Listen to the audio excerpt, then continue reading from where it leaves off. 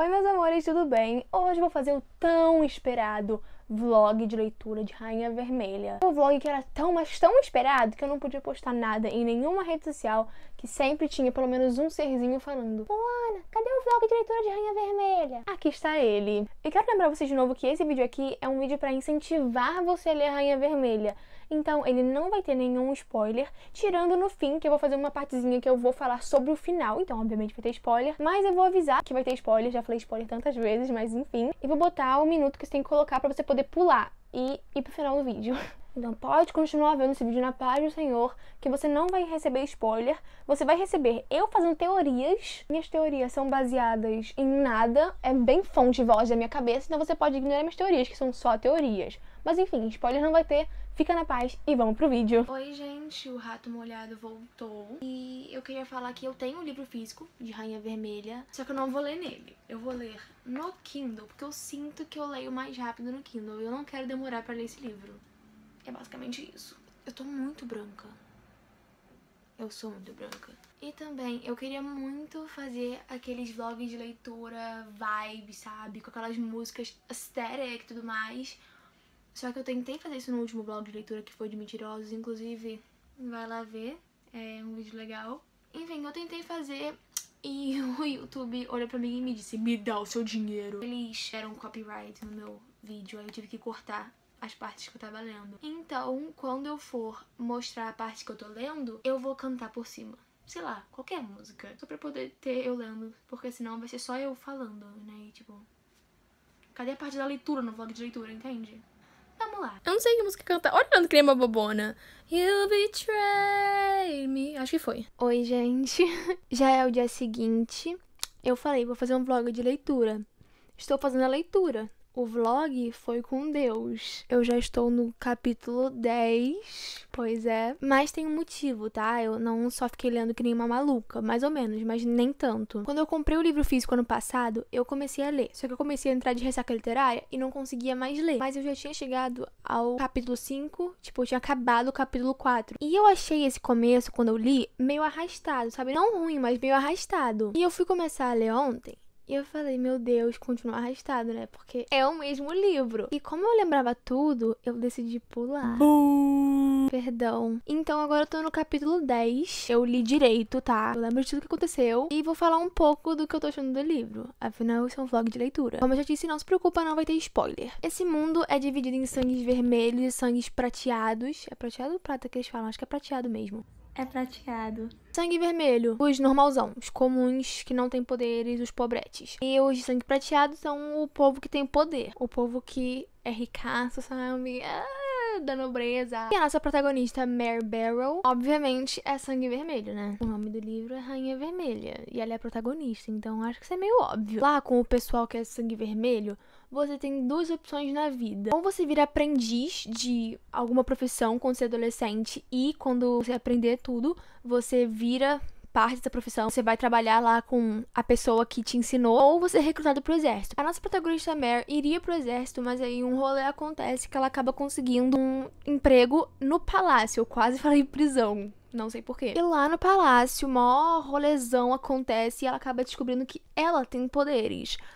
Meu Deus, uma mulher de sangue vermelho? Como assim? Eu também não sei, tá? Eu tô lendo ainda, então não sei por que ela tem esse poder. Vou descobrir? Não sei, provavelmente, né? Mas enfim. Minhas opiniões. Como eu já falei, os primeiros capítulos eu achei meio arrastado. Não é que é parado, mas é um pouco parado. Eu não sei explicar, sabe? Acontece coisas, só que não sei. Eu tive que meio que me esforçar para ler os primeiros capítulos. Eu não sei porquê. Eu não achei a escrita da Victoria espetacular, sabe? Melhor coisa, não é minha favorita, mas eu gostei da escrita dela, é interessante. E a primeira coisa que eu pensei quando eu comecei a ler esse livro é: Meu Deus, como isso aqui me lembra de a seleção. E eu não tô falando num sentido ruim, tipo, nossa, tá copiando a seleção, porque eu nem sei qual veio antes, então, sei lá. Isso é uma coisa muito boa, porque eu amo a seleção. Só que conforme eu fui lendo, cara, se Sombriosos e a seleção tivessem um filho, seria Rainha Vermelha. Ou pelo menos os capítulos iniciais de Rainha Vermelha, né? Não sei. A principal, a Mare. Eu acho que é a Mare que fala, tá, gente? Eu não sei. Eu chamo ela de Mare. Mas enfim, a Mare tem um melhor amigo chamado Killorn, eu acho. É um nome esquisito. E eu tô rezando pra todo mundo para que essa não seja uma situação América e Aspen de a seleção. Não quero que isso aconteça. Tá me lembrando muito de América e Aspen e eu tô com medo porque eu achava eles um saco juntos. E nada e nada me faz pensar que a Mer tá apaixonada por ele. Só que ela gosta muito dele, mas eu não sei se ela tá apaixonada, né? Porque eu não li tanto. Mas enfim, tô com medo, não quero que essa seja uma situação American Aspen. E a última coisa que eu vou falar para poder continuar lendo é: todo mundo que é apaixonado por Bad Boy, que nem eu, é apaixonado por esse Maven de Rainha Vermelha. E é um dos príncipes, são dois príncipes. Ele já chegou aqui pra mim, só que ele não teve quase nenhum destaque até agora. Tipo, fala, ele ainda não teve. Eu não sei nada da personalidade dele ainda. Só a aparência dele, que é o que foi citado sobre ele. Então eu tô ansiosa. Eu quero muito amar ele, que nem eu vejo todo mundo amando. Tô ansiosa, vá, vamos lá. Eu fui dormir quatro e meia ontem. Obviamente esqueci de atualizar vocês sobre a minha leitura. Eu sou muito boa muito boa. Eu sou muito boa na parte do vlog, tá? Me perdoa. Mas agora eu estou no capítulo 14. A Mare tá começando a aprender a lidar com o poder dela. Legal, parabéns pra ela, isso é interessante. Isso não é spoiler, porque é um palpite meu. Eu não sei se vai rolar. É uma teoria que eu criei na minha cabeça que pode ser que aconteça, pode ser que não. Eu realmente não sei. Mas eu estou achando que a Mare vai acabar ficando com o Cal no fim da história. E quando eu digo no fim da história, eu tô falando no fim mesmo, tá? No fim da saga. É um palpite meu, eu não faço a mínima ideia se vai acontecer, mas eu acho que vai. O que é um pouco decepcionante, porque eu queria que ela ficasse com o Maven. Eu tô gostando muito dele. Desculpa se eu tô com cara de cansada. É porque eu dormi durante 5 horas e pouca essa noite, sabe? Minha noite de sono. Você pode achar que isso é muito. Tipo, meu Deus, Luana, você dormiu a beça. Pra mim não é, eu estou com sono. Mas o que eu posso falar? Eu odeio a rainha. Odeio. Ela é insuportável. Ai, lembra que eu falei que eu achava que o Killorn e a May, Mare, né, Maven, é a, Mare, tinham sentimentos um pelo outro. Então, continuo não sabendo do Killorn.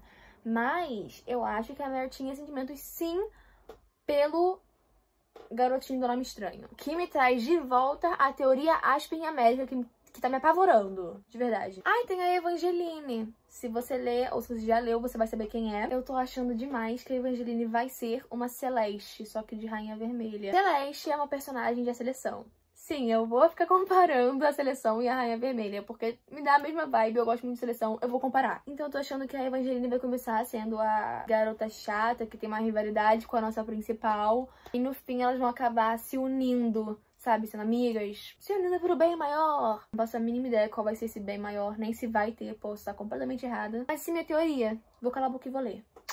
Eu tô vendo Friends, então. So no one told you life was gonna be this way. Au. eu tô na sala. Vocês nunca me viram aqui, mas eu tô lendo e precisava falar sobre isso. A energia Mali que o Killorn tá exalando agora tá me irritando. Culpar a garota por coisa que ela não pode controlar, que ela não consegue controlar. Eu amo. Outro Mali. SOS. Mentira, não sei se ele vai continuar assim, tá? Só nessa parte agora ele tá me irritando tanto. Por favor, Deus, que não seja outro mal na minha vida, porque isso aí já é castigo, eu não sei o que eu fiz. Eu acho que eu preciso falar, né? Com culpar, eu não quero dizer, tipo, literalmente culpar. É só que ele ficou bravo com ela que ela tem poder. Como se ela pudesse controlar isso, né? Ok. Tchau, Mali. Pra quem não sabe, o Mali fez isso em Sombrios com a Alina. Que eu posso estar falando aqui e vocês não fazem a mínima ideia do que eu tô falando. Ele fez com a Alina. Ele ficou tipo, ah, você tem poderes? Como assim? Você é uma Grisha Eka. Como se ela pudesse dizer. Essa palavra não existe. Como se ela pudesse não ser.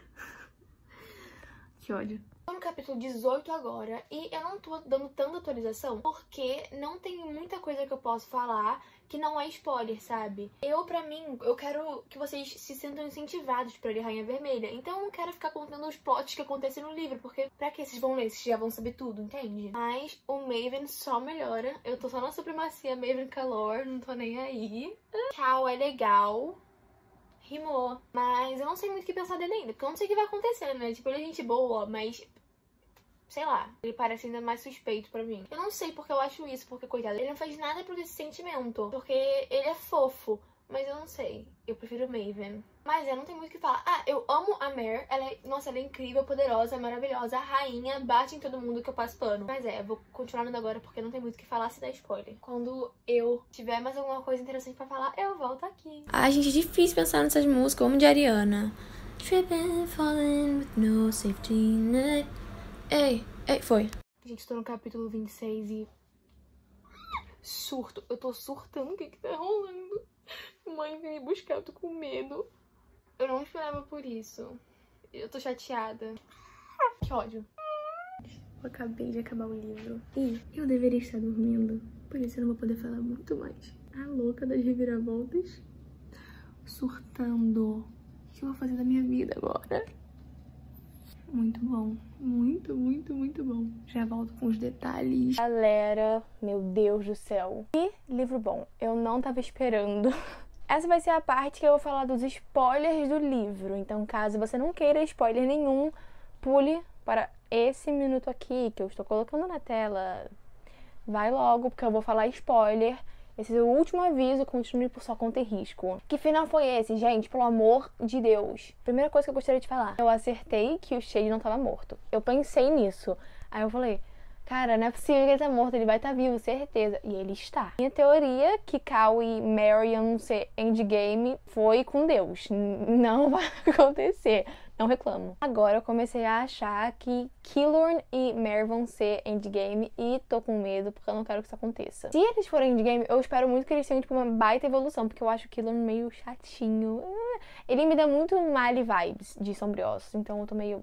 Mas, gente, juro, Juro. O Darkling do final de Sombriossos e o Maven do final de Rainha Vermelha. Os dois a 80 km por hora. Quem é o mais idiota traíra? Chocada, decepcionada, triste, chateada. You betrayed me. Só de coração partido porque Maven não te amava. E pelo visto, Evangeline vai sim ser uma próxima Celeste. E desculpa, eu vou comparar com a seleção em Sombriossos, não tem como. Mas é um ótimo sentido, é o filho perfeito de Sombriossos e seleção. Eu amo mais que tudo. E obviamente, no final eu sabia que a Mary não ia morrer. Gente, ela é a principal, ela não pode morrer agora. For pra morrer, teria que ser no último livro, não no primeiro, né? Então eu falei, ela não vai morrer. Mas naquela batalha final, eu jurava que o Cal ia morrer. E eu tava meio ansiosa. Porque. Não porque eu odeio ele, eu não odeio ele. É só porque eu gosto quando o final tem um baita, tipo, BUM! Morreu. Eu fico, meu Deus, que? Eu gosto quando isso acontece. Pronto, voltamos à programação normal. Sempre no começo dos livros, obviamente, eles têm que construir um pouco o universo pra gente poder entender o livro. E os capítulos iniciais de Rainha Vermelha eu achei meio arrastado e tava meio tipo, ah, vai logo. Porém, depois do capítulo 5, engata de uma forma. Amei a escrita da Victoria. Tirando no começo, eu achei incrível, maravilhosa, me prendeu do início ao fim. início depois do capítulo 5. Eu não sei como, não sei o que essa mulher fez. O jeito que ela escreve os personagens, mesmo os personagens que você não gosta, você quer ler para saber o que vai acontecer, sabe? Te prende muito. Como eu falei, todos os personagens odiosos, você de uma certa forma quer que eles estejam lá só pra ver o que eles vão fazer. Já falei isso na parte de spoiler, mas agora na parte sem spoiler. Eu não consigo parar de comparar a seleção e Sombriossos e Rainha Vermelha, porque a Rainha Vermelha é o filho perfeito de seleção e Sombriossos. E uma coisa que eu notei muito em Rainha Vermelha foi a principal, a Mare. Eu amo Sombriossos e eu amo a seleção, mas tinha uma coisa que me incomodava muito nesses dois livros, era a personagem principal. Sim, uma coisa que a Victoria fez perfeitamente foi mostrar que a nossa personagem principal pode ser forte, pode estar cansada de como tudo acontece no mundo, pode querer mudança, pode estar se sentindo solitária, querendo voltar para a família, para o mundo que ela conhece, pode estar infeliz com a situação atual dela, mas ela não precisa ser chata. E era uma coisa que me incomodava muito na América e na Lina. Elas eram extremamente chatas nos primeiros livros. Não sou a pessoa que gosta de pagar de diferentona, que gosta de não gostar do personagem principal. Eu gosto de gostar do personagem principal. E a Mary é tudo que eu podia pedir. Ela é perfeita forte, empoderada, dona de si, maravilhosa, icônica. Até quando ela erra, eu tô tudo bem, sabe? Pode errar. E o triângulo amoroso de Rainha Vermelha eu acho que foi mais bem escrito do que o triângulo amoroso de Sombriosos. Em nenhum momento eu senti que ela tava com um por não conseguir estar com o outro, sabe? Eu sentia que ela sentia coisas diferentes pelos dois, e meio que não sabia como lidar com isso tudo. Em Sombriosa é completamente diferente, uma coisa que me irritou, inclusive na leitura. Mas eu amo Sombriosa, tá? Tô xingando a beça, mas eu amo meu neném. E sendo bem sincera, gravar os poderes para mim foi um pouco difícil, porque quem vos fala não tem a melhor memória de todas. E era muita coisa para gravar. Então chegou no finzinho, tipo, literalmente bem no fim, eu consegui meio que lembrar o que cada um faz. Ainda não todos, tipo, os nomes das casas, por exemplo, faço a mínima ideia. Não sei, não lembro. Só lembro de algumas, tipo, Iral, esqueci, Jacos, Samus e a do Maven. eu não lembro o nome. Mas eu só isso que eu lembro. De resto, ó, faço a mínima ideia. Ah, e Titanos que eu não posso falar porque senão vai ser spoiler, mas se você ler, você vai entender o que eu tô falando. Mas é, gente, ler a Rainha Vermelha é incrível, a leitura foi maravilhosa, eu amei demais. Eu dei cinco estrelas para a Rainha Vermelha porque, ai, é muito bom. Uma fantasia com romance muito gostoso de ler e se você gosta de Sombreosa Seleção, você vai gostar de Rainha Vermelha. É perfeito. Tudo para mim, muito obrigada por terem me indicado e terem ficado enchendo meu saco para poder ler. Amo vocês. Esse foi o meu vídeo, meu segundo vlog de leitura, agora lendo Rainha Vermelha. Espero muito que tenham gostado. Muito obrigada por ter chegado até aqui. E você quer que eu faça outro vlog de leitura? De que livro? Deixa aqui embaixo pra eu saber qual livro fazer o próximo vlog. Não se esqueça de se inscrever no meu canal, ativar o sininho pra você não perder nenhum vídeo. Curtir esse vídeo se você gostou, porque ajuda muito o canal. Comentar aqui o que você achou, se você gosta de livro, se você quer ler, se você já leu, o que você acha dele. Compartilhar com seus amigos que gostam de livros também. Fala, gente, lê Rainha Vermelha, é muito bom recomendo. Siga nas minhas redes sociais, porque eu sempre falo de livros lá.